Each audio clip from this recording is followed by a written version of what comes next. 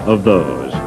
In the floor exercise, Bart Conner from the University of Oklahoma shared first place with his teammate, Mike Wilson.